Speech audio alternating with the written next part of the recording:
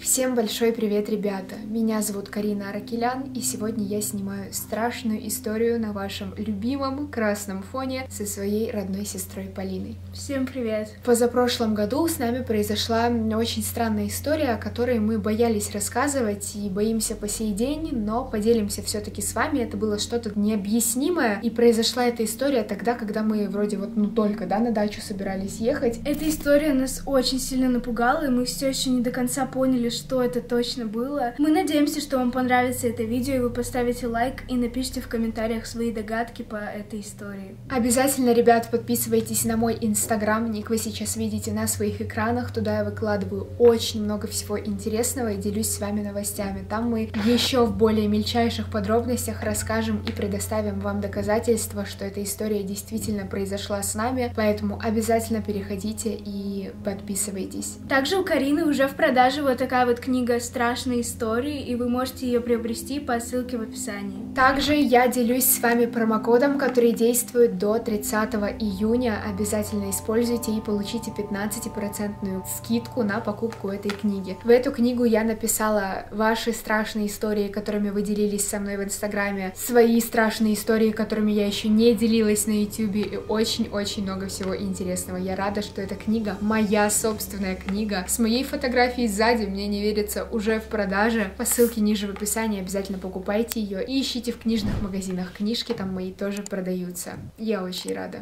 Ну а мы желаем вам приятного просмотра, и мы начинаем. Поехали.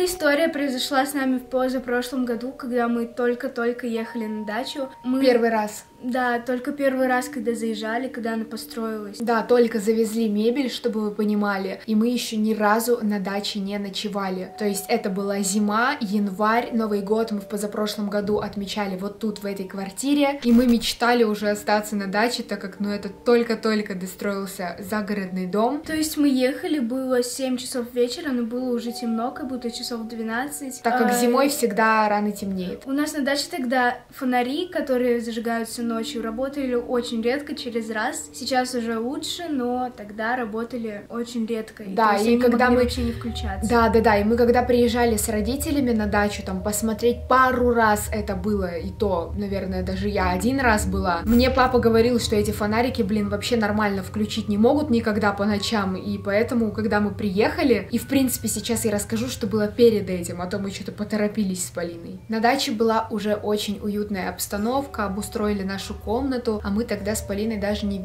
видели, как выглядит наша комната в реальной жизни, только мама постоянно присылала фотографии, потому что они с папой постоянно ездили и смотрели, как там обстоит успех с ремонтом нашего дома. Мы тогда не знали о чердаке, кстати, видео о чердаке вы можете посмотреть ниже.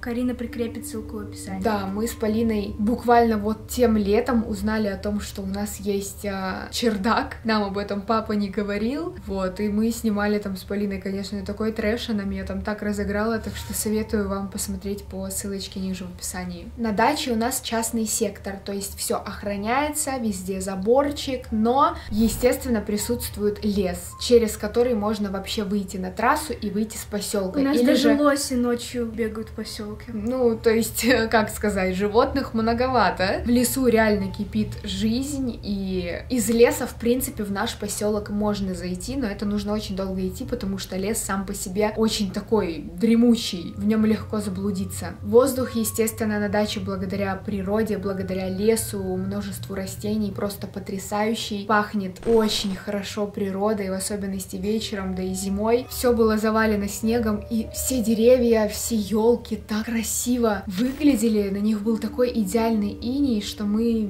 прям бесспорно думали, что как приедем, сразу же с Полиной прогуляемся. Но нас не покидало тревога тревожное чувство внутри, как будто мы очень сильно переживали, но мы не понимали из-за чего. Мы осмотрели нашу комнату, офигели, насколько она была красивая. Кстати, мы сразу поняли, где мы будем снимать ролики. У нас появилось вдохновение, и мы решили, а почему бы нам не пойти гулять? То есть мы приехали на природу, почему бы не посмотреть наш поселок? Да, родители в этот момент разбирали продукты, мебель еще некоторая была не распакована, только, по-моему, диван, да, у нас был распакован, чтобы мы на нем могли посидеть, полежать, так сказать. А веранда у нас еще была недостроена, участок тоже. Но кровати, все это было подготовлено, мы взяли постельное белье с собой, взяли все продукты, которые нужны были нам на пару дней буквально. Вот, ну и круто захотели провести время. Все, мы с Полиной все осмотрели, офигели от красоты, как Полина уже сказала, ну и решили пойти гулять. Это было, наверное, нашим неправильным самым решением в тот день. Вот, это был капец. Ну и, ребят, вы все прекрасно знаете, насколько сильно я обожаю хорроры, и мои любимые — это «Заклятие 1» и «Заклятие 2». И представьте, каково было мое удивление, когда я узнала, что с 10 июня выходит «Заклятие 3» по воле дьявола. Рада была просто не описать словами. И этот фильм, кстати, основан на реальных событиях. В 1981 году Эрни Джонсон не признал свою вину в убийстве, заявив, что был одержим демоном. В кинотеатр кинотеатрах с 10 июня. Заклятие 3 по воле дьявола. Ух, у меня просто мурашки. По сюжету самые известные исследователи паранормальных явлений Эд и Лорен Уоррен борются за дело Эрни Джонсона. 19-летний юноша совершает убийство и на суде, значит, заявляет, что был одержим, конечно, дьяволом. И именно дьявол, как он сказал, приказал ему пойти на преступление. Я просто влюбилась, ребят, в этот невероятный сюжет и срочно побегу в кино 10 июня. Кого в конце концов убил Джонсон и поверит ли следствие в его одержимость? Я очень хочу, чтобы вы тоже посмотрели этот фильм и написали свое мнение мне в Инстаграм, а я буду на вас подписываться и лайкать. Все ссылочки я оставлю ниже в описании. Ну а мы можем продолжать. Мы вышли из дома и пошли до детской площадки и заметили то, что фонари все-таки включились, когда мы заезжали, они были выключены. Мы пошли и просто гуляли, опять же, до детской площадки, до которой мы хотели дойти и там уже остановиться, то есть никуда дальше не пойти. Но мы прошли детскую площадку, не заметив это. Точнее, мы немножечко так ради галочки побыли на этой детской площадке, погуляли, по поиграли, так сказать, чтобы из виду не отпускать наш дом, так как а, наш дом стоит задом к детской площадке, и, в принципе, когда мы на ней как бы находились, и в ней просто дышали свежим таким зимним воздухом, мы могли увидеть дом, могли увидеть родителей, так как шторы еще даже на дачу не завезли, вот, но вдаль уходила настолько красивая снежная дорожка, что мы решили еще прогуляться. Все так освещалось фонарями хорошенечко, и мы подумали, почему бы нет. В принципе, по времени не так поздно, поэтому мы пошли гулять, и дальше произошел, конечно, самый настоящий трэш. Гуляли мы где-то полчаса, не заблудились, мы примерно понимали, куда нам нужно идти. Был такой прям дремучий, дремучий прям лес, темень, которая не освещалась никаким образом. Мы поснимали с Полиной какие-то тиктоки на улице, поснимали истории. Нам позвонила мама, сказала,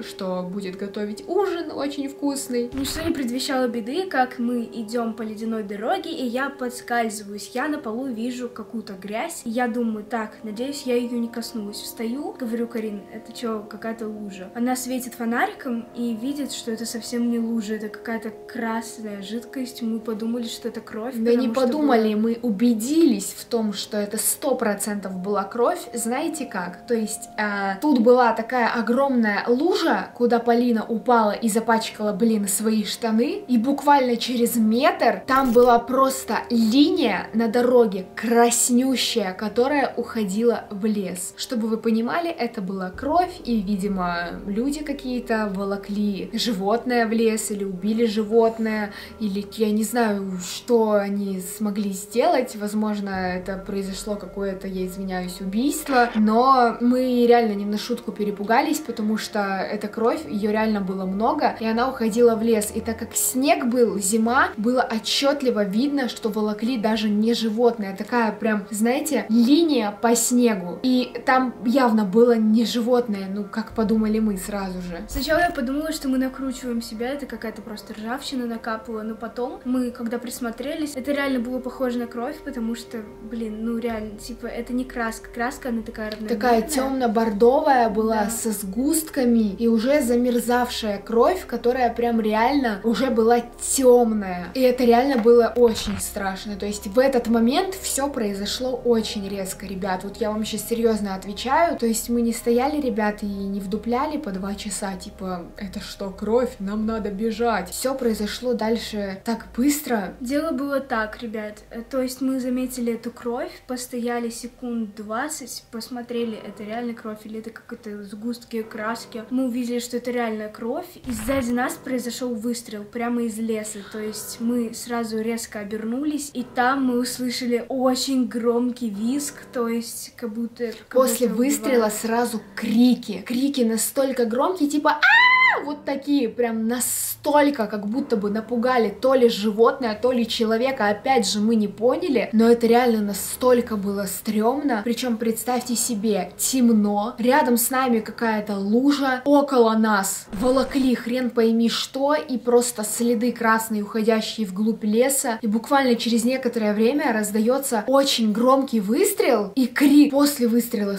Ребят, как мы напугались, это просто словами не описать. Это было что-то, может, охотники, да, мы подумали, типа, Ну да, мы подумали сначала, что это животные, охотники в лесу. Ну блин, какие охотники в дремучем лесу и какой визг? Визг был ну человеческий. не в дремучем, а в таком лесу, и как бы в это время, мне кажется, в темень по лесу, ну, нормальный охотник бы не стал ходить. Ну да. Так что, мне кажется, это было реально очень странно. После выстрела и после крика нам резко звонит мама и спокойным тоном говорит, девочки, идите домой, я приготовила ужин. Прикиньте. Чего? В эту же секунду, сразу же после выстрела и крика, мама говорит, я приготовила ужин, все, можете идти домой. Как будто бы мама прям почувствовала, что все, нам пора, что девочки, вы как бы погуляли, давайте уже шуруйте домой. Нас кинуло просто в жар у Полины, ребят, знали бы вы у Полины какая паника. Вот расскажи, что ты чувствовала в этот момент? Я чувствовала, что у меня дрожат конечности. Я не понимала вообще, где я, что я. Я сначала подумала, что я во сне, кстати, реально себя ущипнула, ребят. Нет, я была не во сне, к глубочайшему сожалению. И мы побежали к дому, и Карина начала меня еще больше пугать, и она мне говорит такая, а где мы? Я говорю, Карин, ты шутишь? Ребят, потому что у меня реально началась паника. Мы начали бежать, еще и, блин, скользко. И чтобы вы понимали, я просто, ну, напрочь забыла, где мы находимся. Мне настолько стало стрёмно, что я говорю, Полин, а мы где? Полина говорит, ну, как бы,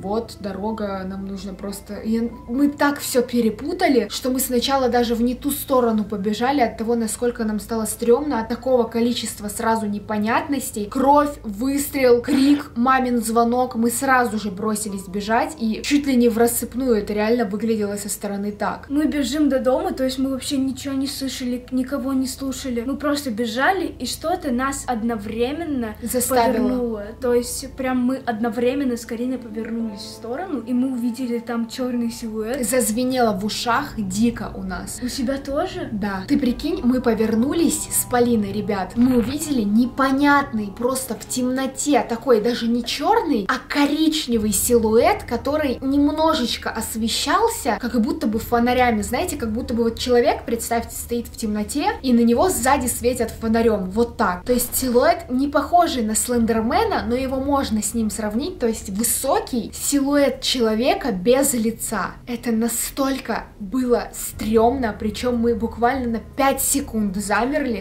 Кстати, Слендермен же тоже в лесу живет. Вот, кстати говоря, Полиночка, чтобы ты понимала, может быть, как бы это легенды ходит, что Слендермен выглядит так, как мы его себе представляем, и как в интернете он выглядит, а на самом деле мы его увидели, ребят, я не знаю, но я вам точно говорю, это реально было очень страшно и непонятно для нас, мы реально напугались, нам было безумно стрёмно. В этот момент я просто понимаю, что все, мы уже подходим к дому, хрен пойми, что происходит, непонятный силуэт, Тогда, ребята, я просто впала в ступор. То есть я встала, и я понимаю, что я не могу не закричать, не подвинуться, ничего я не могу сделать, ничего не сказать. Я просто стою, и все. у тебя как будто бы был транс, то есть когда я отвернулась уже от этой непонятной херни, Полину вот так вот схватила, типа побежали, она просто стоит вот так и смотрит на этот непонятный силуэт и просто ничего не делает, вот так У меня такое чувство, что он как-то меня либо гипнотизировал, либо пытался как-то вселиться. Я знаю. сразу же, ребят, заметила, что это что-то не то. Я со всей силы повернула Полину. Как только мы уже вместе в один момент повернулись, мы увидели, как навстречу к нам идут два человека. Это просто обычная девушка со своим молодым э, человеком, парнем, похоже, наши соседи, потому что мы их с Полиной по сей день видим. Вот Полина с дачи буквально позавчера приехала. Ай, ребят, это был, конечно, самый настоящий трэш. Мы забежали домой, у нас была дикая просто паника. Мы сразу же рассказали все родителям. Родители сказали, что мы шутим. Родители сказали, что мы шутим, просто не поверили нам, что мы решили их вот так пранкануть. Сказали, девочки, все, не до ваших пранков, Полина, идите помойся. Но мы до сих пор родителям говорим, что эта ситуация с нами реально произошла. Это был какой-то прям, ну, капец. Так нам еще в эту же ночь приснились кошмары. Прикиньте, то есть это насколько много совпадений, насколько дофига непонятных вещей происходило. Мне снился тот же самый черный силуэт, и в этом сне он шел и вел меня вот так вот как-то за шкирку э, к этому лесу, и я проснулась вот так вот в холодном поту и спрашиваю Карины, Карин, тебе что-то снилось? Она мне рассказывает сон, и ей то же самое снилось. Да, только у меня чуть-чуть по-другому эта картина выглядела. Он меня не за шкирку тащил в лес, а за шкирку тащил к этой луже крови и просто показывал вот так вот пальцем, но не было лица у человека, я не могла его разглядеть. Знаете, когда вам снится сон, и вы, блин, понимаете, что, ну вот, вроде вы видели человека, но вы как просыпаетесь, не можете вспомнить его точной внешности. Вот так у меня было, я до сих пор помню этот сон, но я не помню, блин, как выглядел этот человек. Я помню, что просто единственное не было ни носа, ни глаз, ни рта, ничего, просто вот такое вот пятно черное и все. После этих кошмаров мы, естественно, на следующий день поехали в город, мы на один денечек в итоге остались, потому что мы с Полиной придумали все возможные дела, чтобы просто поехать в город из-за того, что родители нам не верили. Мы уехали, потом на следующий день мне приснился тот же самый сон, и меня не покидало чувство тревожности, я боялась спать, мы с Кариной спали вместе, потому что мы обе боялись очень. Даже когда мы ехали из дачи, насколько нам было страшно вообще выходить из дома, ребята, вы бы знали, это был самый настоящий... Я забыла сказать самый главный факт. Какой? Мы когда ехали с дачи, я оборачиваюсь и вижу на секунду, прям на, на одну миллисекунду этот силуэт. То есть сзади я вижу на одну миллисекунду, как этот появляется и пропадает силуэт. Короче, ребят, эта история, это ну, был самый настоящий трэш, и мы хотим сказать, в итоге все закончилось, это нормально, сейчас уже ничего такого нету, но мы по ночам с Полиной вообще больше не гуляем на даче, как бы просто сами по себе боимся, когда начинает темнеть, мы уже идем домой, и то я на даче редко бываю, вот Поля бывает, и то она с родителями днем гуляет. Хотим сказать вам большое спасибо за просмотр, и хотели бы вас попросить написать свое мнение в комментариях, были ли у вас такие же похожие ситуации, или ваши догадки догадки, что же это все-таки было, кто это кричал. Что это могло быть в конце концов. Спасибо вам большое за просмотр. Надеемся на вашу поддержку и понимание. Это был, конечно, капец. Спасибо всем за просмотр. Всем пока-пока. Пока. -пока. пока.